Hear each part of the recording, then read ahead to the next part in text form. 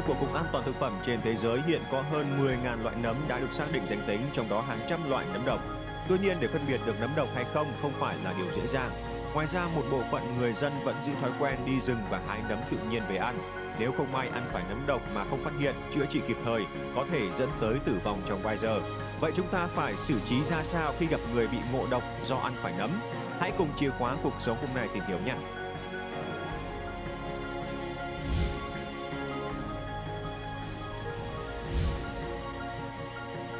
Nấm là thức ăn dinh dưỡng được nhiều người yêu thích. Nấm có rất nhiều loại khác nhau từ màu sắc tới hình dáng. Tuy nhiên không phải nấm nào cũng ăn được. Thông thường nấm độc sẽ có màu sắc sặc sỡ, có đủ mũ, phiến, cuống, vòng cuống và bao gốc. Ngoài ra có những loại nấm độc hình dáng và màu sắc gần giống với nấm không có độc tính, khiến nhiều người khó phân biệt và nhầm lẫn.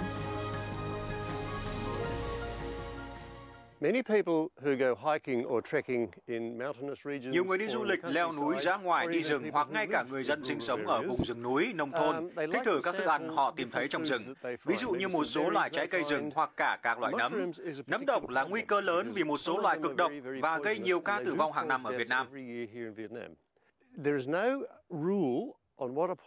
Không có cách nào chính xác để phân biệt nấm độc và nấm lành trong tự nhiên. Đã từng có ý kiến cho rằng các nấm có màu sắc sặc sỡ là nấm độc, còn nấm màu trắng thì không độc. Rất tiếc là điều này không đúng. Có nhiều loài nấm màu trắng nhưng lại có thể gây chết người. Vì vậy, việc ăn nấm mọc ngoài rừng hoang dại là vô cùng nguy hiểm. Các cơ quan y tế luôn khuyên mọi người không ăn bất kỳ loại nấm mọc hoang dại nào. Các dấu hiệu và triệu chứng ăn phải nấm độc có thể khác nhau, nhưng thông thường bắt đầu với cảm giác buồn nôn, nôn ói vì nấm độc có chứa độc tố, và cơ thể sẽ tìm cách tống độc tố ra ngoài bằng cách nôn ói ra. Một khi độc tố đi qua bao tử xuống đường ruột, thì độc tố có thể đi ra ngoài thông qua tiêu chảy. Vậy nôn ói và tiêu chảy là cách cơ thể tìm cách tống độc tố ra ngoài.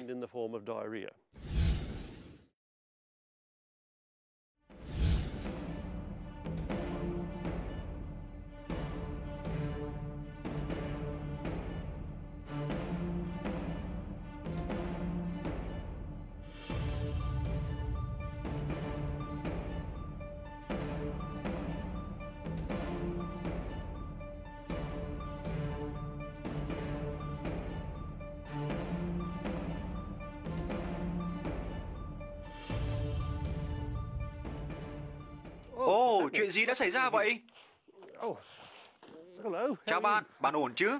Bạn đã ăn nấm rừng à? Đã ăn phải nấm độc rồi phải không? Đúng rồi, bạn cần phải nôn ói nó ra.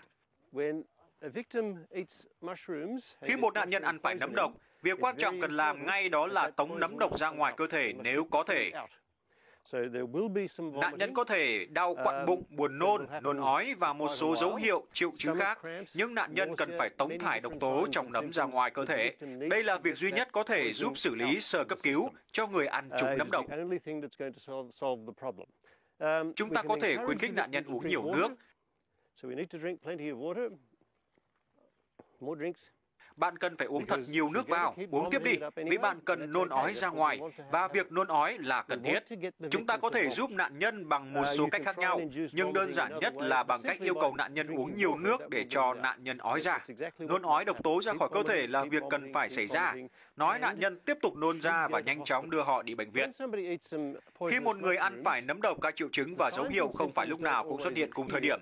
Dấu hiệu sớm thường gặp là nôn ói vì cơ thể không muốn giữ độc tố bên trong. Vậy nên nó khiến nạn nhân nôn ói ra để thải độc tố ra ngoài. Một khi độc tố đã đi qua bao tử xuống hệ thống đường ruột, có thể lên đến 4 tiếng đồng hồ và độc tố lúc đó có thể bị tống ra thông qua bị tiêu chảy. Vậy nạn nhân có thể sẽ bị nôn ói trước, sau đó là bị tiêu chảy. Diễn tiến của các dấu hiệu và triệu chứng không phải luôn luôn giống nhau hoặc cùng thời điểm. Đôi khi nạn nhân có dấu hiệu trong một giờ đầu tiên sau khi ăn nấm độc, hoặc có trường hợp chỉ có dấu hiệu triệu chứng sau 4 giờ. Một khi có triệu chứng dấu hiệu, nếu cơ thể không thể tống hết độc tố ra ngoài, các độc tố này sẽ gây ra các biến chứng nguy hiểm. Một số trường hợp nạn nhân có thể cảm thấy khỏe hơn sau vài ngày nôn ói tiêu chảy. Lý do là trong thời điểm đó, lá gan tìm cách xử lý độc tố. Tuy nhiên, độc tố thậm chí có thể phá hủy lá gan, gây suy gan cấp sau đó. Một số nạn nhân cảm thấy ổn hơn sau vài ngày và nghĩ rằng cơ thể đã nôn ói và tiêu chảy hết độc tố ra ngoài, nên không đi bệnh viện khám. Tuy nhiên sau đó họ bắt đầu có biến chứng nguy cấp, có thể dẫn đến tử vong. Chính vì vậy, khi ăn phải nấm độc, nạn nhân phải đi vào bệnh viện để bác sĩ kiểm tra, xét nghiệm, điều trị. Tại bệnh viện, nếu việc nôn ói không đẩy hết độc tố ra ngoài, bác sĩ có thể cho nạn nhân uống than hoạt tính để hấp thụ lượng độc tố trong cơ thể hoặc một số cách khác, vì việc vô cùng quan trọng là phải xử lý, đưa độc tố ra khỏi cơ thể trước khi độc tố đi vào thận. Một khi thận suy thì toàn thân sẽ suy và có thể dẫn tới hôn mê, tử vong. Vậy nên chúng ta cần phải sơ cấp cứu đúng cách là ngay khi có biểu hiện như đau quặn bụng, buồn nôn, nôn ói thì cần phải gây nôn cho nạn nhân bằng cách cho uống nhiều nước để nôn độc tố ra ngoài. Một số hiểu nhầm khi kiểm tra nấm độc bao gồm cho gà, chó hoặc con vật nào đó ăn thử nấm. Nếu con vật đó ăn xong vẫn ổn, nghĩa là nấm không độc. Đó là nấm lành, con người có thể ăn được. Rất tiếc đây là cách làm sai vì dấu hiệu triệu chứng sau khi ăn phải nấm độc có thể không biểu hiện ngay. Chúng có thể xuất hiện sớm trong vòng một giờ sau khi ăn hoặc xuất hiện chậm sau 4 giờ. Vậy nên rất khó để khẳng định bằng cách này. Nên chúng ta không dùng cách này để xác định nấm có độc hay không. Cách khác mà nhiều người thử nhưng cũng đã được chứng minh không hiệu quả, đó là trà nấm vào một đồ dùng bằng bạc như là muỗng, thìa bạc, đồng tiền bạc, thau bạc, vân vân. Nếu bạc chuyển sang màu đen, có nghĩa là nấm độc. Bạc không chuyển màu là nấm lành, ăn được. Cách làm này không chính xác, bạc chuyển màu hay không chuyển màu đều không thể xác định nấm đó có độc hay không. Một quan điểm sai phổ biến khác là nếu côn trùng ăn được loại nấm đó thì con người cũng ăn được. Các loại côn trùng cũng bị nấm độc ảnh hưởng, tuy nhiên tác động của nấm độc lên côn trùng khác với con người. Vậy nên đây là quan điểm sai. Chúng ta không dùng cách này để thử nấm độc hay nấm lành. Một niềm tin sai khác cũng khá phổ biến là có thể nấu để khử độc trong nấm.